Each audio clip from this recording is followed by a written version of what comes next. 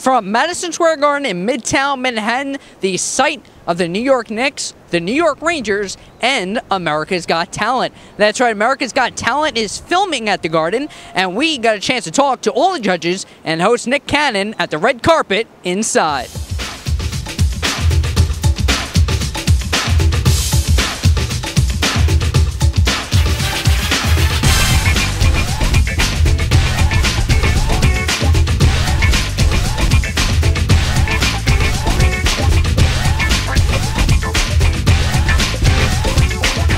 What's the best part about filming in New York City for you? Well, I love New York City. I've lived here for 13 years. And um, what is the best thing about it? They have great talent here, too.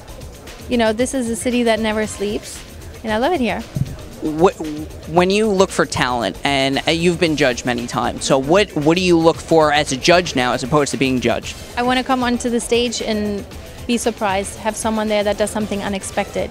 You know, people always say, Who are you looking for? What are you looking for? And I don't know what I'm looking for. I just know that when I see it and it's good, that that's what I was looking for.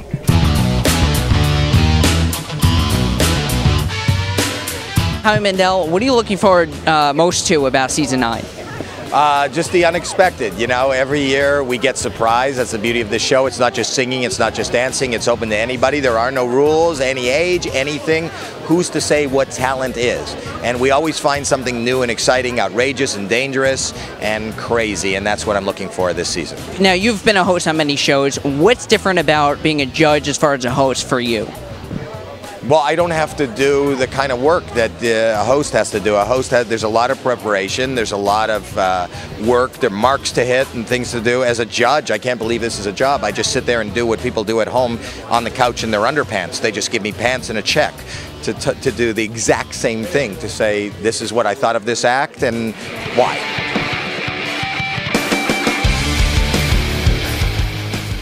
You talked about social media uh, this week and how you hate it, and and uh, you know TV has become a lot with social media and publicity. So how do you get around that with America's Got Talent? Well, listen, you do not get around social media with America's Got Talent. They got so many people here. Everywhere you look, there's some dude with a camera or tweeting or Instagramming or doing something. I just sit there and mind my own business. But uh, there's constant uh, social media. No, you're right. In this environment, you have to, social media has become really, really important. I don't like it. As a radio guy, used to be the only way you could reach a mass audience is be on the radio or TV.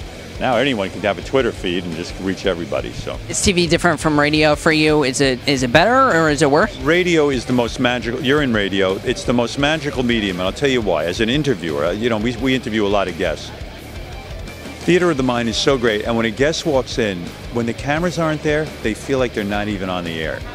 And it's so much better, I think.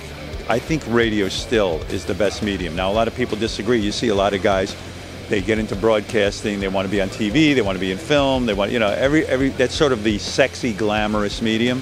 But I still think radio is a sexy medium and people should go into it and really look at it seriously. It's, it's fantastic. That's a camaraderie with you and the other judges. It's good. Who cares? I'm the most important one. I don't give. I don't care.